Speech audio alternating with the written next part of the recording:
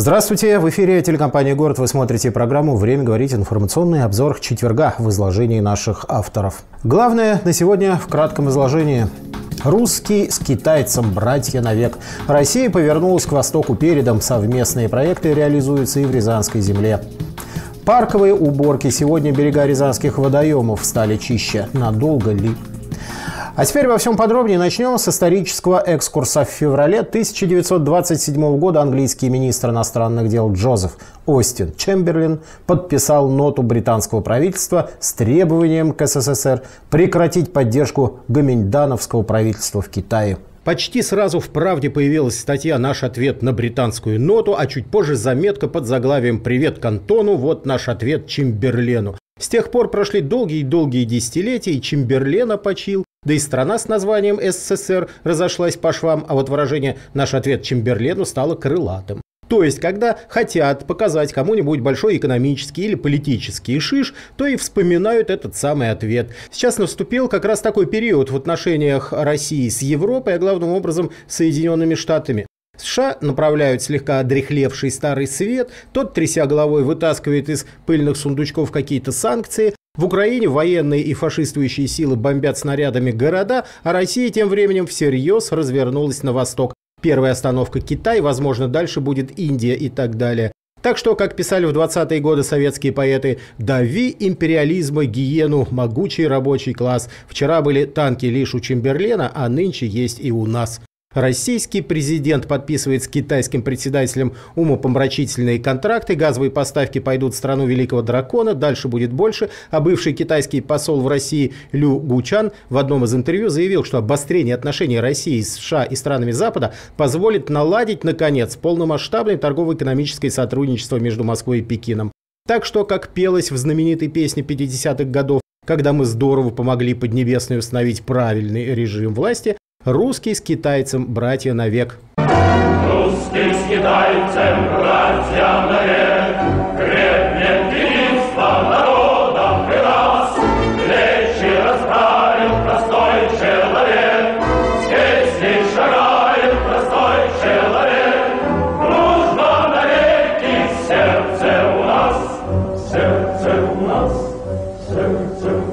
Китайские мотивы явственно и громко зазвучали и в российских регионах. Так, в нашей области будет строиться новый завод по производству цемента сухим способом. Контракт на поставку оборудования, проектирование, монтаж и обучение сотрудников стоимостью 145 миллионов, нет, не юаней, а пока еще долларов США, для строительства объекта подписали российский холдинг и китайская компания. В прошлом августе между правительством Рязанской области и холдингом Евроцемент Групп был заключено соглашение о строительстве нового нового завода. Сейчас инвестор перешел к непосредственной реализации этого стратегического проекта.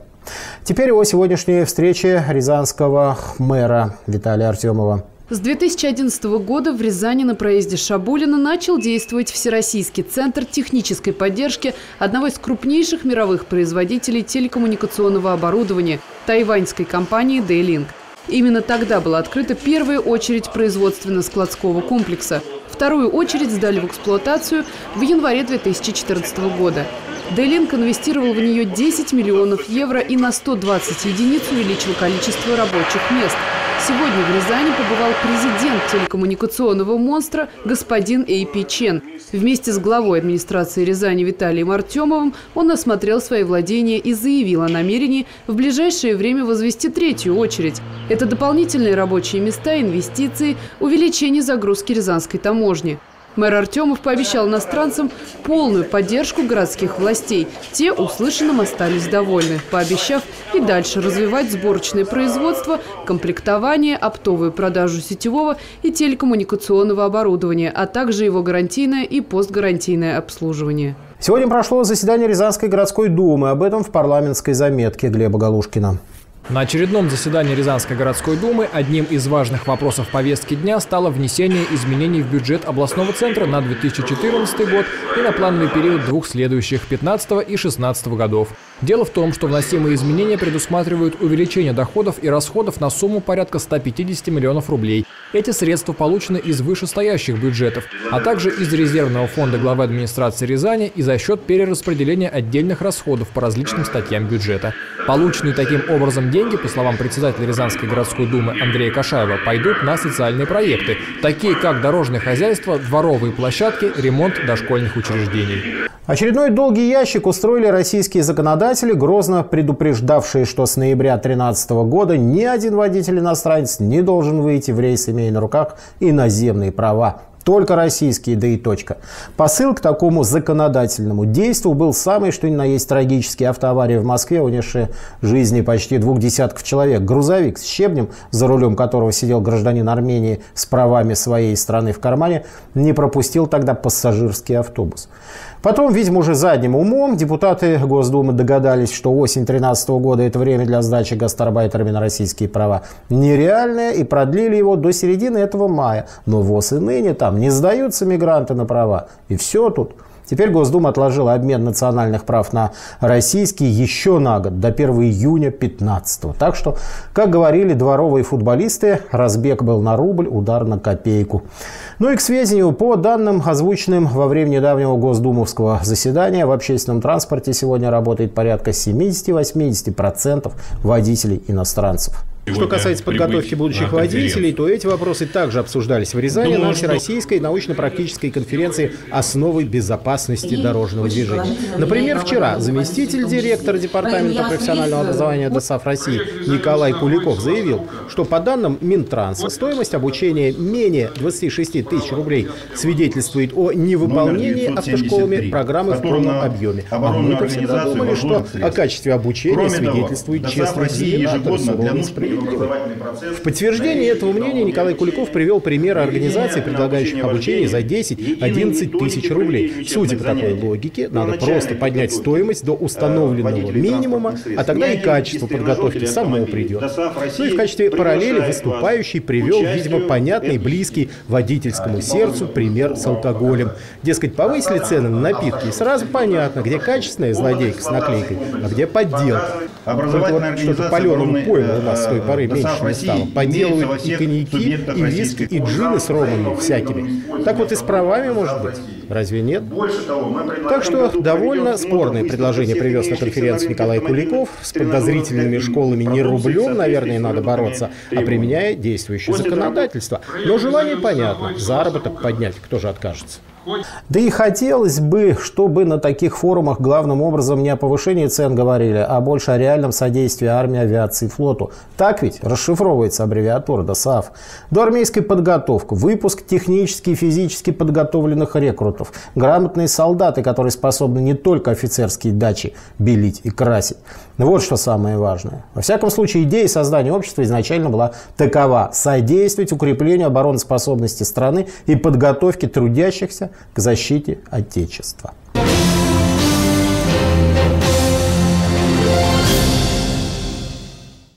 Историко-архитектурный музей-заповедник накануне напоминал съемочную площадку фильма на тему «Спасение человечества». Вой сигнализации, спасающиеся бегством товарищи ученые, робкие попытки затушить пламя и, наконец, прибытие пожарных расчетов в установленное и оговоренное регламентом время. Музейный комплекс принимал учения спасателей. По легенде, загорелся архив. Уникальный и не очень. Документы в прямом смысле слова дали жару. Первыми к месту пожара прибыли бойцы музейной добровольной пожарной охраны. Смельчаки помогали эвакуировать людей и начали сражение со стихией. Но через пару минут прибыли профессионалы, настоящие брандмейстеры с выдвижными лестницами, пожарными рукавами, бронзбойтами и даже так называемым кубом жизни, надувной штуковиной, на которой прыгают сверху этажей, застигнутые огнем бедолаги. Заодно пожарные и гидрант проверили. А вдруг, как не дай бог, и взаправду полыхнет в музее-то. Рязанцы сегодня поддержали всероссийскую акцию «Нашим рекам и озерам чистые берега». Ее тема явствует из самого названия, точнее уже и сказать невозможно. Местные власти и общественные организации пригласили горожан привести в порядок побережье водоемов, где так любят сидеть романтически настроенные любители немного выпить, слегка помусорить и помечтать о том, когда же в стране наконец будет порядок. Убирали сегодня берега Павловки, Плетенки, Рюминского пруда в Центральном парке. Продолжает тема Наталья Новикова. Мая начале июня 2014 года в России проходит акция по уборке берегов нашим рекам и озерам «Чистые берега». Как сообщается на федеральном портале «Вода России», 47 регионов уже заявили о своем желании принять участие в этом благородном мероприятии. К этой акции присоединился и наш город. Рязанские школьники и студенты убирали мусор в районе лесопарка, приводили в порядок берега реки Трубиш, рек Павловка и Плетенка. Мы решили своей организации присоединиться к этому мероприятию, потому что мы считаем, что места, где мы отдыхаем, должны быть все-таки убраны, и каждый должен убирать за собой. Поэтому, если, ну, грубо говоря, кто-то не смог убрать за собой, мы должны выйти и помочь природе для того, чтобы э, стало чисто, была нормальная экология. И если не мы, то кто тогда? То мы, когда вот ходим по городу, нам не нравится, что везде, например, лежит мусор, э, везде люди э, как бы мусорят, везде люди плохо ведут себя. Мы решили убрать вот прибрежные места. Я очень беспокоюсь о чистоте нашего города, ведь Рязань раньше была в одном из первых мест по по, по чистоте, ну, вот, города Рязанского. А сейчас с каждым годом она загрязняется, и это очень плохо сказывается на экологии и на чистоте. Проблема экологии уже давно приобрела глобальные масштабы. Но самое обидное здесь в том, что именно от нас самих зависит, каким воздухом мы дышим, какую воду пьем и в насколько чистом мире живем. Но мусор возникает, естественно, в первую очередь от людей, которые здесь отдыхают и не хотят убирать за собой. Но если они не хотят, приходится убирать нам, всем вместе. Э, поэтому я, как, э, как представитель вот природоохранного э, органа, контролирующего, правоохранительного, хочу сказать э, людям, отдыхающим, любите природу, не загрязняйте ее. Радует то, что неравнодушных людей становится все больше и больше. Все чаще проводятся подобные акции, собирающие многочисленных участников. И, конечно, хочется надеяться, что все же станем мы в конце концов ответственнее по отношению к природе, пока еще не поздно. Храня тревогу и тоску, мы бережем реку Аку. Она для нас красивее всех. Любить Аку – это не грех. Сплотим совместно наши силы и будем вместе до могилы. Ее как надо очищать э, и мать природу не огорчать. Пусть лес у нас в Рязани зеленеет, аку в обиду мы не отдадим. Мысль о природе всем нам душу греет. Мы для людей природу сохраним. И вкратце о делах предстоящих. Завтра региональное министерство экономического развития представляет фестиваль «Энергия бизнеса-3». Он пройдет на площади Ленина. Сообщается, что в сквере со стороны Красноярской будет организовано несколько площадок, представляющих те или иные предпринимательские компетенции. Здесь потенциальные бизнесмены смогут получить консультации или стать участниками мастер-класса по соответствующей теме. И эти же площадки будут станциями для командной игры квеста «Ты предприниматель». Хедлайнером событий станет Барри Алибасов – младший, один из лучших в России специалистов по стартапам. Ну, перевод такой. Хедлайнер – это что-то или кто-то вроде гвоздя программы. Стартап – это только что созданная компания, строящая свой бизнес либо на основе новых инновационных идей, либо только что появившихся технологий. Вот как в кино. Все, что знал, сказал. А в субботу в Рязанском Кремле начнется выступление тысячного сводного хора Рязанской области. Концерт пройдет в рамках Дня славянской письменности и культуры и будет приурочен к празднованию 700-летия со дня рождения Сергия Радонежского. А нашу информационную линию сегодня продолжит программа «Подробности». В студии глава Рязани, председатель Рязанской городской думы Андрей Кашаев. Ждем ответов начальства на вопросы ведущего проекта Евгения Зызина. А еще ждем дня завтрашнего. Напомним, по пятницам мы подводим информационные итоги рабочей недели. Удачи!